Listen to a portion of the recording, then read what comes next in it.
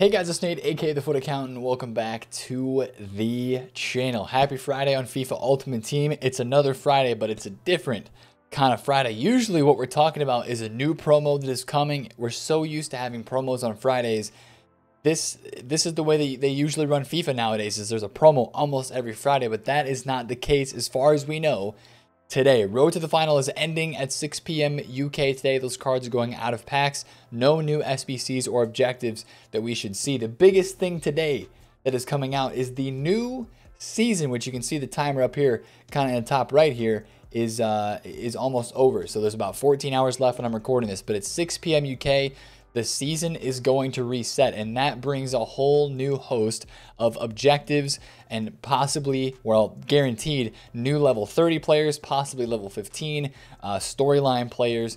Uh, so if there's any of this stuff you want to finish up, now is the time to do it. But since we're seeing this new kind of content today, and there's not actually a promo going on, it's the week before Black Friday, a lot of people are expecting icon SBCs. And it just makes sense, right? This would be the perfect time for EA to suck some coins off of this market, right? And take a lot of coins off of people's accounts and out of people's accounts before Black Friday, which is a huge pack promotion where they try to get people to open packs to buy FIFA points and stuff like that. So if you're thinking from an EA perspective, this would be a perfect time to drop icon SBCs. Now, I've also heard some people mention, hey, couldn't icon swaps come out? No, actually, in fact, EA themselves said that icon swaps will not be until December. So a lot of people were asking about new objectives to grind. I'm not entirely sure what we could see for objectives today, unless there's a promo that EA is just going to drop on us for a week right before Black Friday. Um, I don't expect anything really big in terms of objectives today, but we'll see what EA has, EA has up their sleeve. Uh, there's nothing really new. I've been watching the FUTWatch Twitter. I haven't seen anything yet in terms of new car designs or, or, hints or anything like new packs that have been added to the code. But the biggest thing that I think people are expecting today is the return of Icon SBCs. And we're going to throw it back to look at FIFA 18.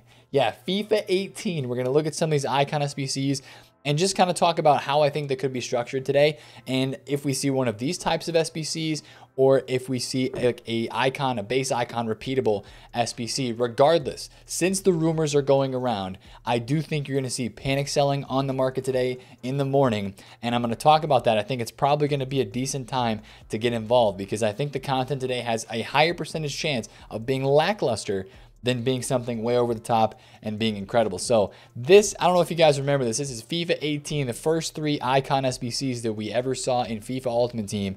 Del Piero, Overmars, and Rui Costa. EA tweeted this out. They used to release these on Thursdays. They would release three prime, the pre, three prime icons and call it a Throwback Thursday. It was really awesome time.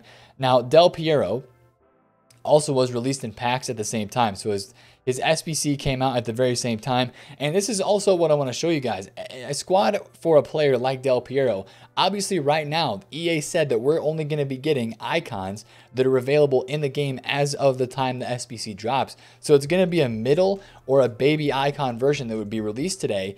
Uh, and that's part of what we're going to talk about with the hype too. If it's a player that's like a middle or like a baby Del Piero, would be a pretty sick SBC. And if it's priced correctly, because baby Del Piero is about a 1.1 mil card, if they price that SBC at like 800k, a lot of people might be interested in that. But if they come out with a repeatable base icon upgrade pack as well, that might be an SBC that's maybe 500, 600, 700k that a lot of people would be interested as well. And we'd see more market movements and more coins taken off the market if they did that sort of SBC. But just to kind of remind you guys of what a regular icon SBC is like, uh, they used to require icons. They said this year that there is a possibility that they would require icons. I don't know if I would expect it this early on unless they would drop a big name player. Like usually what it was in FIFA 18, if the SBC was over like 800k to a million coins is when they had an icon requirement involved because the icons were about like three 400,000 coins um, in FIFA 18 I believe they they went up really high at one point but uh, that's kind of what I would expect. If it's like 800K or above for an SBC, that's where I think they'd include an icon requirement. But then again, it's just a lot of high rated squads, right? 84s, 85s, 86s, 87s. So that's why a lot of people right now are invested in these players right here, SBC fodder. Now, of course, today on FIFA, we had the Bamba SBC that was released. This card right here coming in at 300K. Now, it is a really good looking card, but this caused SBC fodder to drop for a, just a slight period, and then it actually got reinvested in and went back up. People bought those cards back when they got cheap because they are expecting more icon SBCs today. So that's kind of what I wanted to talk about with the SBC fodder today.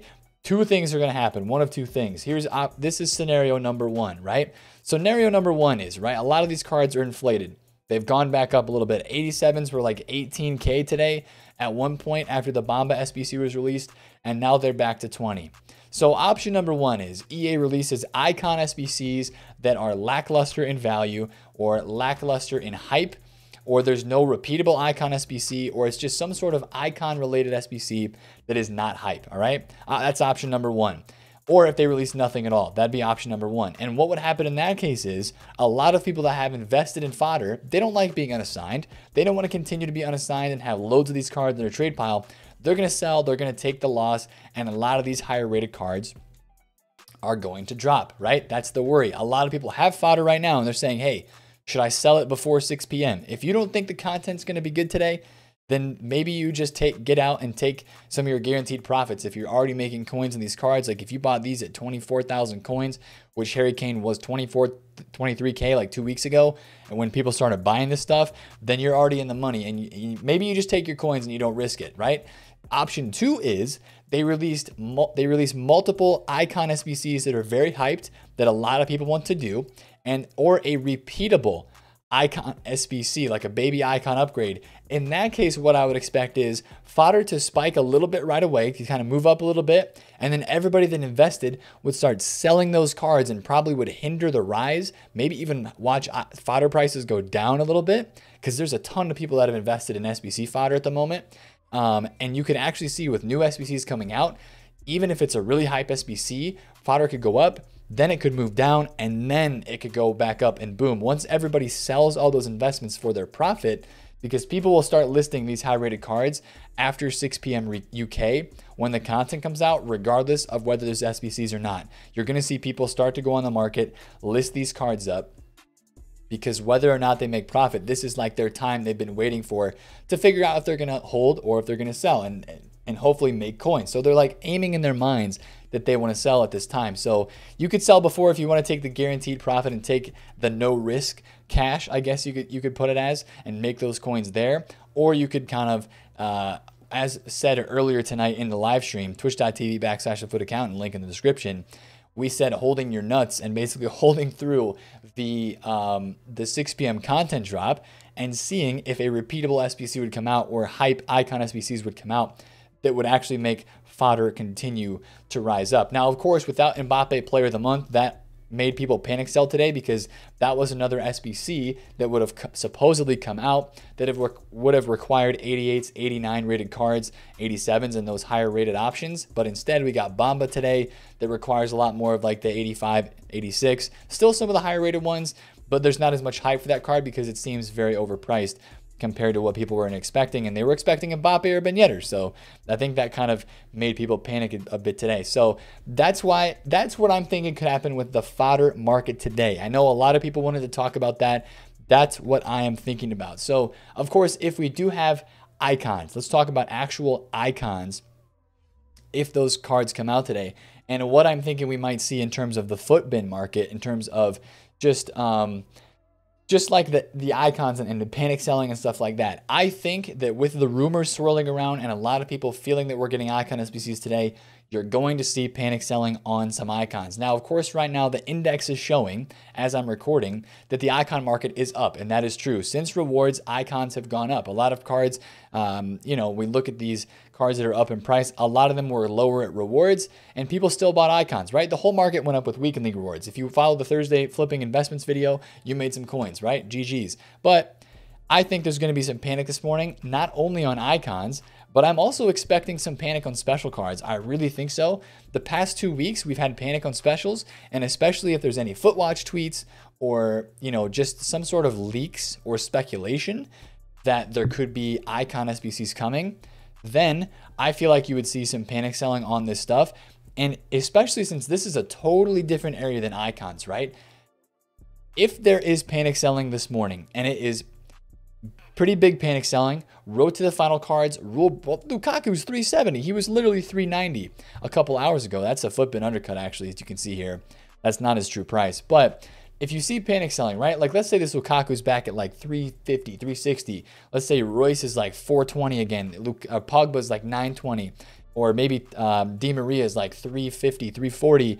You know, some of these drops on these cards are like you know 20 to 30 percent ish, like pretty big drops out of packs informs as well that's when I would start to get interested. And I would say that even if there is icon SBCs that come today, if people are panic selling their teams that they're going to use for weekend league, a lot of people are going to have to go buy those players back because yes, they may go do an icon SBC, um, but let's say there's like an icon midfielder SBC that comes out. Let's say like Xavi gets an SBC today, right?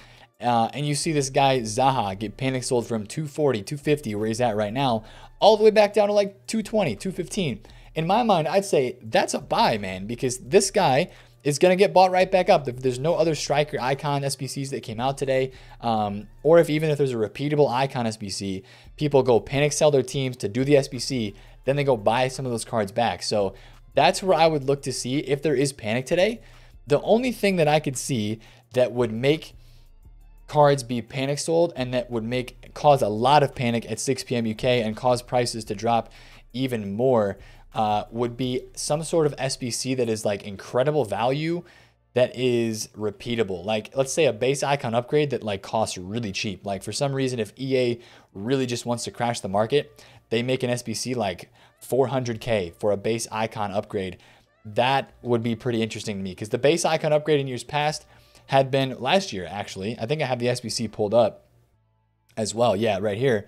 And we looked at this in a video earlier this week but this SBC was 500K right away and went up to 625. It was 83, 86, 86, and 87 rated squads. And the fodder went up like crazy because nobody was expecting it. And it wasn't invested in, it wasn't over invested at the start. It was just kind of dropped on us like this. And the fodder went sky high. So I don't think fodder would make this big of a jump. Though we've been looking at in the past, you know, a couple videos with the Black Friday preparation with SBC fodder. I don't feel like the fodder would really jump this high or all those SBC cards I don't feel like they would jump that high. So if an SBC does come out like this, though, that's the only thing that I could say could actually crash the market today. There is a possibility for other flashbacks or other SBCs that are player SBCs that EA could put out. Um, but I'm just, other than icons coming today, it's really just kind of like, what the heck's going to happen? We're getting a new season, right? What usually comes with a new season? Just objectives. Um, now, again, people have mentioned icon swaps, but EA said that that's not coming out until later. So I'm not too worried about like objective content really messing up the game today. Again, unless EA has something up their sleeve that they're gonna pull a fast one on us today and like they're not giving us any information right now and we're gonna be really, really surprised um, today when we have the content drop. So again, some of the cards are already being, you know, they've kind of reached their peak from all the buyback from people buying the weekend league teams. Uh, if you do still want to buy special cards for like your Black Friday investment, I would say watch these cards as they go out of the weekend league. It's going to be very interesting uh, to watch some of those and to see where those prices go.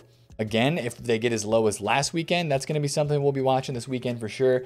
But at least for today on Friday, watch the panic selling in the morning. If you have SBC fodder, weigh your options from what I talked about in the beginning. Do you want to take the risk and hope they drop a big SBC or take the guaranteed cash? And if they don't drop a big SBC today and we see um, SBC fodder dropping a lot, that could be a beautiful time to get in on some of these cards as we head into um, if or even if there's an icon SBC that comes out, a repeatable that is maybe a little bit overpriced, but you see fodder just go down really, really low from all the panic selling, it might bounce back up. So we'll talk about some of that stuff after the release tomorrow or today on Friday and talk through some of those market movements as well.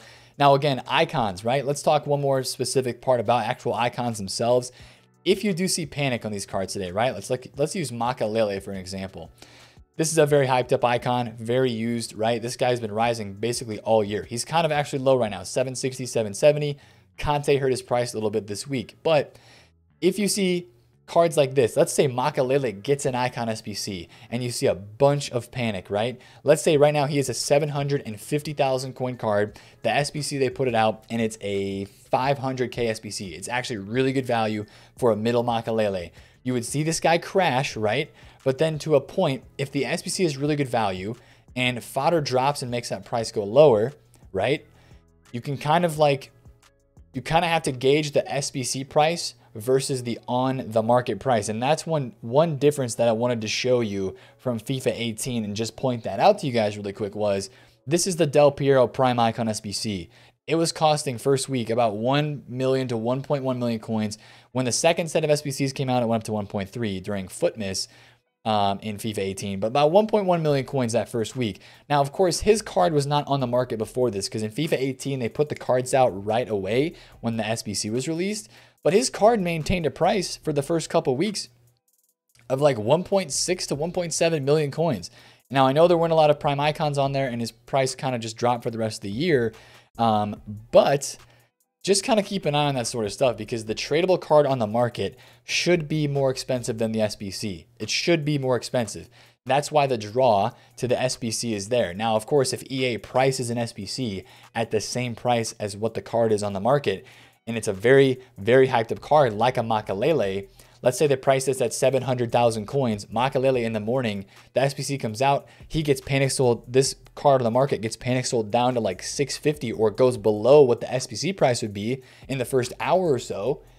I would expect a rebound because instead of people see that as, okay, I can go buy this card off the market for the same price or 50K more instead of having to go do the SBC and spend all that time doing the SBC and having an untradeable card in the end. Maybe I don't want this guy for my team for the whole rest of the year. So the, the tradable value of the card should be a little bit higher than what the SBC cost is.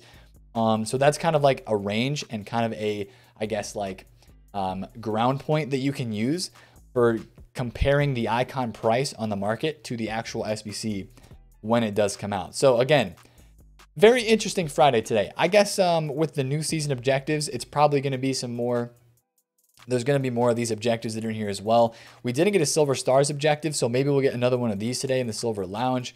Of course, uh, Kunde is going to go away. Molay is going to go away. Uh, all this stuff is basically, since there's no timer on all of this, it's going to be expiring uh, when the season expires. So there should be a lot of objectives today. Um, I don't think, maybe a player or two, maybe they'll drop another Foundations player. We, we only have MLS. This is going away, so maybe they drop a new one of those as well. Um, we shall see. And of course, probably new TIFOs and new uh, stadium gear stuff inside of the season rewards. So hopefully no more loan Mbappe. We don't need any more of those. EA, you can get those out. Give us like a loan. I don't care. A loan somebody else other than Mbappe because I'm tired of seeing that dude. And I think we all are tired of seeing him in a friendly. So big question mark today for content boys. We might have a lot of cool stuff we might kind of have a bummer of a Friday. So I'm really curious to see what happens. Of course, if there is not that much content, the less content we have, if there is panic selling in the morning, that's just more that the market goes up in the afternoon because people will sell those cards, realize there's nothing to do on the game, go buy them back and start playing weekend league. So that's something to keep in mind as well with the market today. But big question marks. Hopefully it's cool icon content from EA Sports today on FIFA 21. We'll find out though. If you guys enjoyed this video, smash the thumbs up on it, comment down below if you have any questions, and subscribe to the channel if you're new. It's been Nate the FUT Accountant. Catch you guys later. Peace out.